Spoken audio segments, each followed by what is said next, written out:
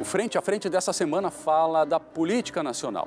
Não deixe de ver a análise que o senador Paulo Paim faz sobre o cenário da política e as projeções para os próximos capítulos das disputas no Senado da República. Qual a sua preferência partidária hoje? Então, fim do ano eu decido.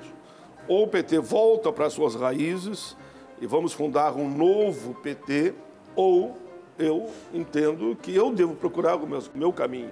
Senão tu fica dando a impressão que é só para ficar na imprensa, se fica ou não fica. Não concordo com isso, não vou fazer disso política como marketing. Até o fim do ano eu decido, fico ou não fico e para onde vou.